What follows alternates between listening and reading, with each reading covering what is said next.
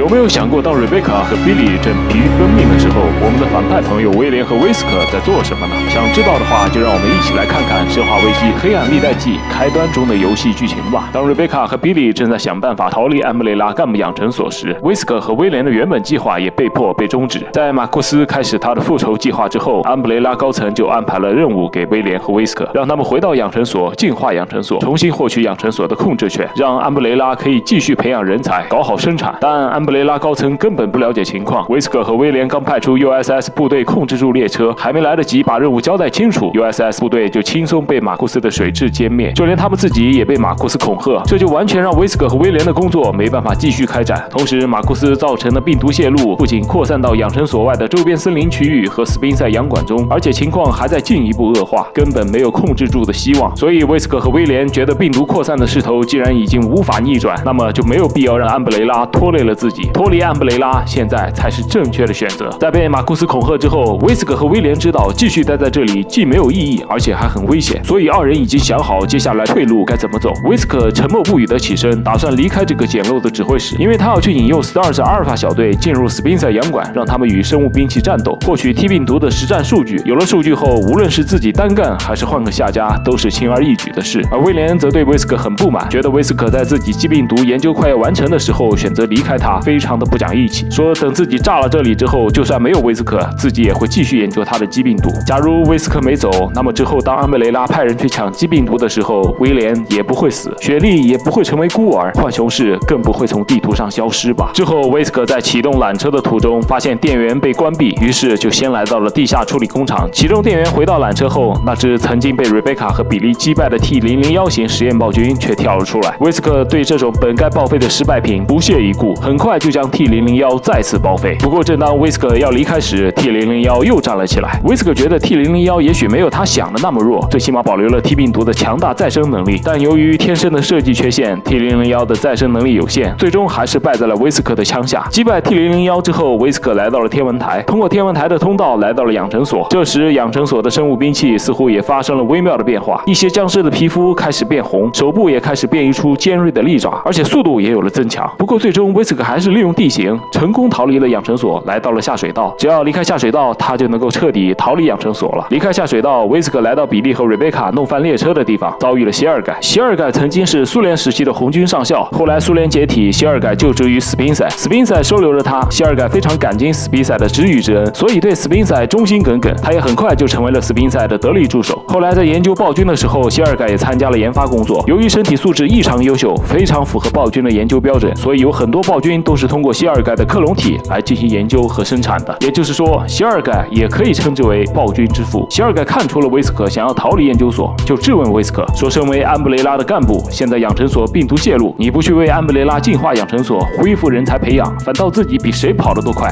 这是什么意思？”威斯克淡定地告诉谢尔盖说：“养成所已经大势已去，还是炸了比较好。他已经安排了爆炸装置，所以才要跑路。”谢尔盖提醒威斯克不要忘了，他就是个弟弟，不要那么任性。然后谢尔盖就安排了伊万暴君来救教育教育威斯克。伊万型暴君即 T 幺零三的升级版，也就是《生化危机二》中出现的 T 幺零三的加强版。相对于 T 幺零三，伊万型暴君更加智能，可以更好的服从和执行命令，而且还会使用武器。甚至当多个伊万暴君组队的时候，他们还会协同作战来执行任务。毫无疑问，现在的威斯克是无法战胜伊万暴君的。不过威斯克知道威廉已经启动了自毁程序，所以接下来只要拖够时间，趁机逃跑就可以了。就在威斯克与暴君的战斗进入白热化的时候，自毁程序被启动。威斯克利用爆炸产生的烟雾，成功摆脱了谢尔盖和伊万暴君的追杀。在摆脱谢尔盖的追杀后，威斯克就立即去与 Stars 阿尔法小队会合，以搜救 Bravo 小队为由，引诱他们进入危机重重的斯宾塞洋馆，开始执行他邪恶的计划。感谢收看《重返游戏》，喜欢的朋友不要忘了关注订阅，我们下期再见。